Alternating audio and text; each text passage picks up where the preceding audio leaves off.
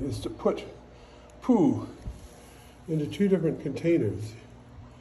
This one has been housing um, isopods, and I put a, a ton of springtails in it. And these guys have been in here for many months and have reproduced. There's quite a few of them in here, actually and there's lots and lots of springtails in here. This one is fresh out of the bag. So we're going to cut up some poo, and it's frozen solid right now. But we're going to cut it up and put it, place it in these different containers. We're going to see what impact the cleanup crew has on the decomposition of the feces.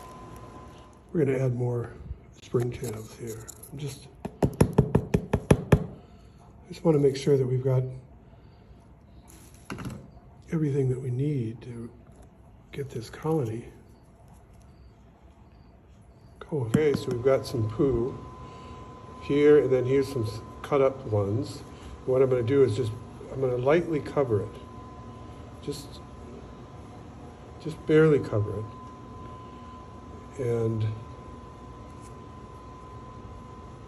I just want to, I want to be able to keep the moisture in there because if it dries out, um, there can't be any activity. The, the isopods won't come around, the bacteria won't operate, you know, if we get a surface that dries out on it. So that's it. It's just very, very lightly covered. Um, and we're going to then, we have the same plastic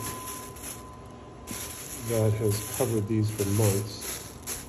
I just tuck it in and it actually does a good job of letting airflow in and keeping the moisture just about right. I've rarely had to add water to this setup. And then over here, we're just going to use the same bag, and I'm going to do the same thing. I'm going to spread this out to cover it just lightly, just enough to keep it very, very slightly moist, about what you'd want in a bioactive setup. And we'll just come back and check you know, every week or, or so we'll take a look and see, or every few days, and I'll report back on how effective the cleanup crew is, a really densely populated cleanup crew is in a vivarium to break down waste. So over here, I broke this open and there's still poo in there, right?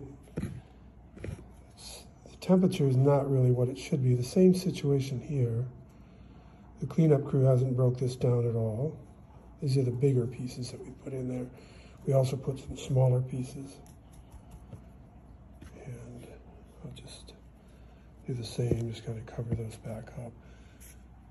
The smaller pieces, like here, they're almost, they've definitely been broken up and decomposed. They're still there. But you can tell they're, they're pretty much, they're about half what they were when we put them in there. And over here, when we looked, we found about the same thing. It really wasn't much difference. This is a little bit bigger one here, I guess. But this is all a big, you know, this is all poo.